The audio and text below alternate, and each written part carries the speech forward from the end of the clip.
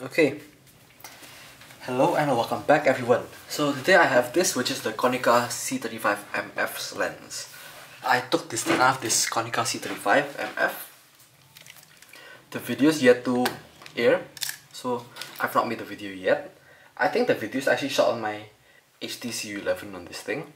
Now I'm shooting on the 6400 but let me go show you. So I actually took this thing out with with just this so this was like since this thing's an AF compact, not like one of those Ricoh GR. Eh, what the heck, GR? What what you call this thing? It's the Ricoh. What you call this thing?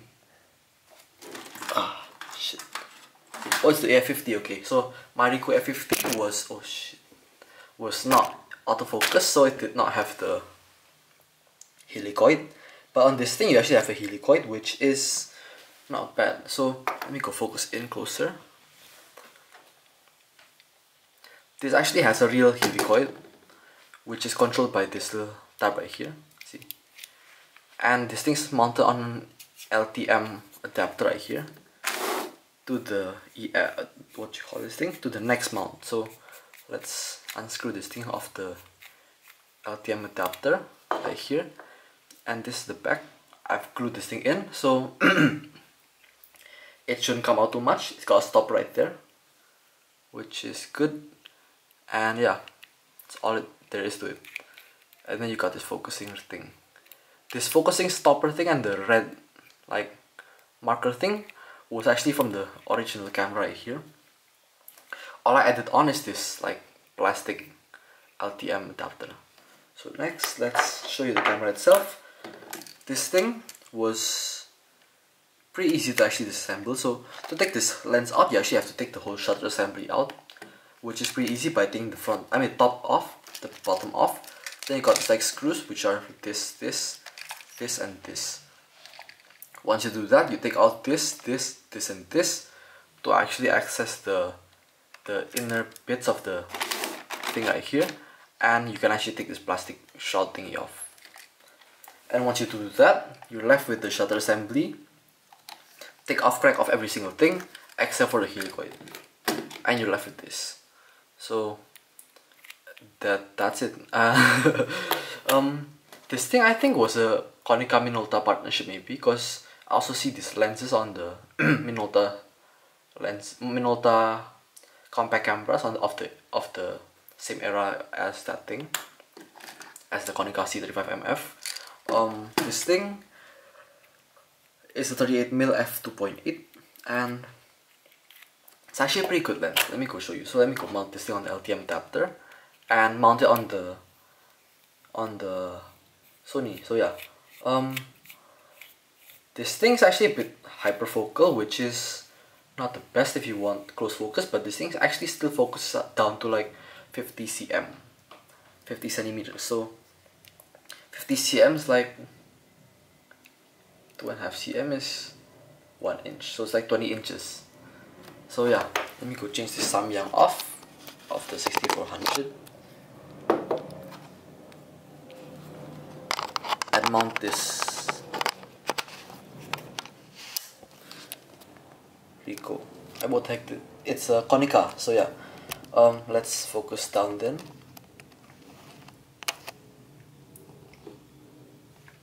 this is not 50 cm let's focus somewhere a bit further. So let's focus on the Jupiter 3 this focus actually pretty light because it's only on this like one wire thingy.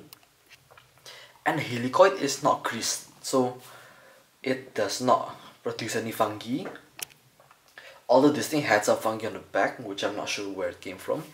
And it's actually pretty smooth so let me go try like push this tripod a bit down.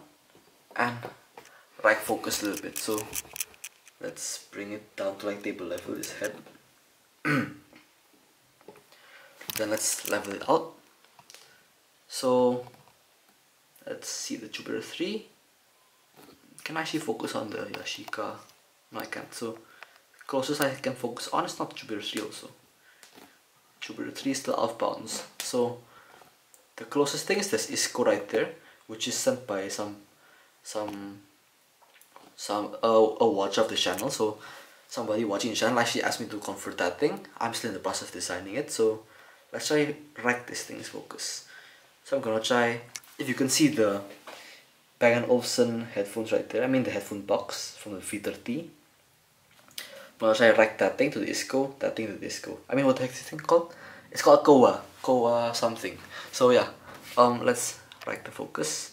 Close, bit far, close, bit far, close, bit far. See, near zero sound. Now most of my conversions are like this, so like that Helios 103 right there. That thing is a 3D printed helicoid with with a helicoid like this you can actually have sound like let's listen to this see because it's made of carbon fiber and plastic so those two actually like rub against each other every time you spin that thing. This Leica also it's my Leica Hektor Hektor P2 this thing's way smoother because it uses like this pin to focus. Let's try unscrewing this by pin. Actually no, let's let's move back to the Samyang. So let's unscrew this guy. Put the Samyang back on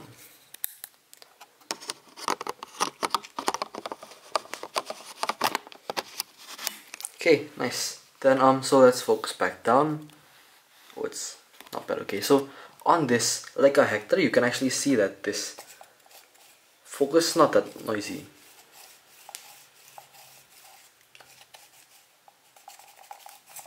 Because this thing only uses like one bit right here to press on the Leica's helicoid see? Thing with this is that with the Kowa I mean what what you call this thing? With the Konica you actually don't need let's bring this thing a bit higher. You don't need to mess around with plastic because you already have this like awesome smooth metal I think aluminum but might be also brass helicoid from the factory. So if you can get it for free why make a new one? Let's put down focus in okay so that's why this thing can focus really quietly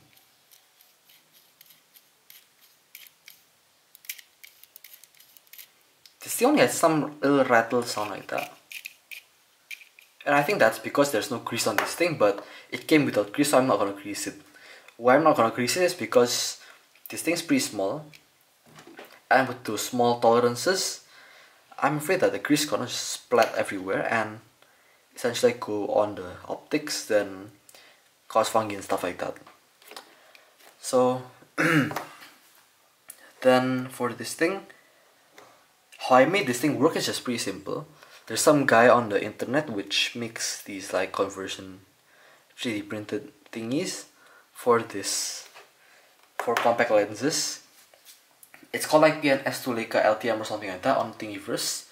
And so I downloaded that thing and it's supposed to work with these like like this thing the lens of a Kodak star which screws into there. But for this thing it's actually pretty different because the holes supposed to be a bit bigger. So what I took this thing as was like a like a body cap. Then I just push this thing in there with heat. Um yeah so the process itself was not very hard and the costs are not very high. So you can actually try this at home. Um then yeah um I think everything's done for this this lens. It actually flares pretty cool. Let me go show you the flare. I think I forgot to show you the flares. Let's take this off one more time.